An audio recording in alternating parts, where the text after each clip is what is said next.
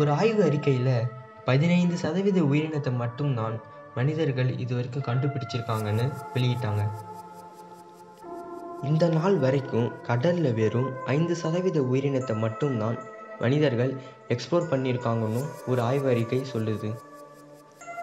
அதாவது கிட்டத்தட்ட eight point seven million இனங்கள் மட்டும்தான் மனிதர்களுக்கு தெரியுமா?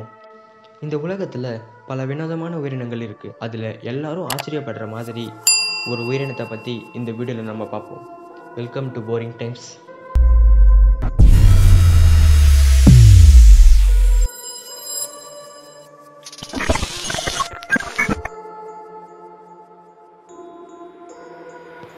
அந்த எயிட் பாயிண்ட் செவன் மில்லியன் இனங்களில் ஒன்று தான் இந்த டாட்டிகிரேட்ஸ் இந்த டாட்டிகிரேடை செவன்டீன் செவன்டி த்ரீல ஒரு ஜெர்மன் ஜுவாலஜிஸ்ட் தான் முதல் முதல்ல டிஸ்கிரைப் பண்ணார். அப்போ அவர் இதுக்கு வச்ச பேர் லிட்டில் வாட்டர் பியர்ஸ் அப்போ இதை பற்றி எந்த விஷயமும் தெரியாமல் இருந்தாலும் செவன்டீன் செவன்ட்டி செவனில் ஒரு பயாலஜிஸ்ட் அந்த ஆர்கானிசமோட பிஹேவியரை பார்த்து இந்த ஆர்கானிசமுக்கு டாட்டிகிரேட்ஸ்னே பெயர் வச்சார். சயின்ஸ் வளர வளர இந்த உயிரினத்தோட அற்புதமான விஷயங்கள் மற்றும் திறமைகள் எல்லாம் அதிகமாக தெரிய ஆரம்பிச்சுது. இந்த டாட்டிகிரேட் ஒரு மைக்ரோஸ்கோபிக் ஆர்கானிசம் எந்த அளவுக்குன்னா ஜீரோ பாயிண்ட் த்ரீ மில்லிமீட்டர்லேருந்து ஒன் பாயிண்ட் டூ மில்லிமீட்டர் வரைக்கும்.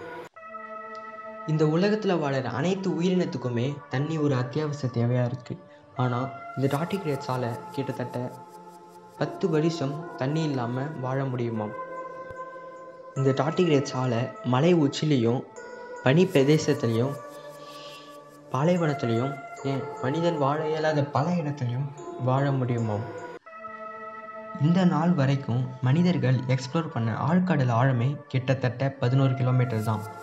அந்த இடத்த தான் சேலஞ்சர் ஜீப்னு சொல்கிறாங்க அந்த இடத்துல ப்ரெஷர் அதாவது அழுத்தம் கிட்டத்தட்ட நூறு மெகா பேஸ்கல் ஆனால் நைன்டீன் நைன்டி எயிட்டில் ஜப்பான் சயின்டிஸ்ட் இந்த டாட்டிகிரேட்ஸால் கிட்டத்தட்ட சிக்ஸ் ஹண்ட்ரட் மெகா பேஸ்கல் வரைக்கும் அழுத்தத்தை தாங்க முடியும்னு எக்ஸ்பிளைன் பண்ணி ப்ரூவ் பண்ணாங்க.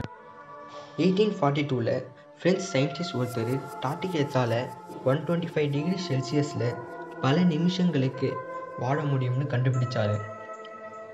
சில டாட்டிகேட்ஸால் அப்சு ஜீரோ டெம்பரேச்சரில் கூட வாழ முடியும்னு சொல்கிறாங்க நைன்டீன் சிக்ஸ்டி ஃபோரில் டசன்ஸ் ஆஃப் எக்ஸ்ரேஸை இந்த உயிரினத்து மேலே செலுத்தினாலும் இதால் தாக்கு பிடிக்க முடியும்னு ரிசர்ச் பண்ணி பார்த்ததில் இந்த உயிரினத்தால் மனிதன் தாக்கு பிடித்த அளவை விட ஆயிரம் மடங்கு எக்ஸ்ரேஸை இதால் தாக்கு பிடிக்க முடியும்னு தெரிய வந்தது.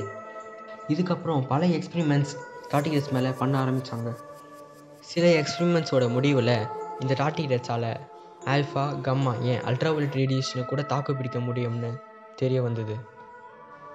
எக்ஸ்பிரிமெண்ட்ஸோட அடுத்த கட்டமாக டூ தௌசண்ட் செவனில் European space agency photon M three என்ற மிஷினில் டாட்டிகிரேட்ஸை ஸ்பேஸ் கிராஃப்டில் அனுப்பி அதால் வேக்யூம்லேயும் உயிர் வாழ முடியுமான்னு எக்ஸ்பிளைன் பண்ணாங்க.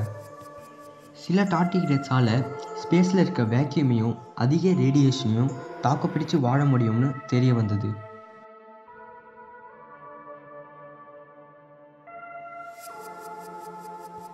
சில ரிசர்ச் பேப்பரில் டாட்டிகிரேட்ஸோட ப்ரோட்டீன்ஸை ஹியூமன்ஸ்குள்ளே செலுத்துவதனால ஹியூமன் செல்ஸை ரேடியேஷன்லேருந்து பாதுகாக்க முடியும்னு சொல்கிறாங்க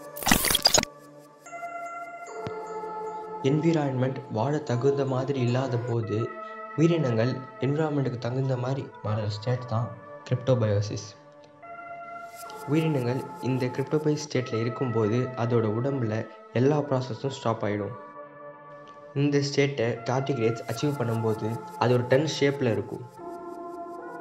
இந்த ஷேப்பில் மாறின உடனே டாட்டிகிரேட்ஸ் ஒரு புது வகையான ப்ரோட்டீனை ரிலீஸ் பண்ணும். இந்த புரோட்டீன் செல்ஸில் இருக்கிற ஃப்ளூயிடை ரீப்ளேஸ் பண்ணும். இந்த புரோட்டீன் செல்ஸில் இருக்கிற ஃப்ளூயிடை ரீப்ளேஸ் பண்ணிவிட்டு டாட்டிகிரேட்ஸோட செல் ஆர்கனல்ஸையும் டிஎன்ஏவையும் பாதுகாக்கும். டாட்டிகிரேட்ஸ்க்கு திரும்ப தண்ணி கிடைக்கிற வரைக்கும் அது இதே ஸ்டேட்லேயே இருக்கும். இந்த ஆர்கானிசமோட வினோதமான தன்மைக்கு இதுதான் காரணம்னு சொல்கிறாங்க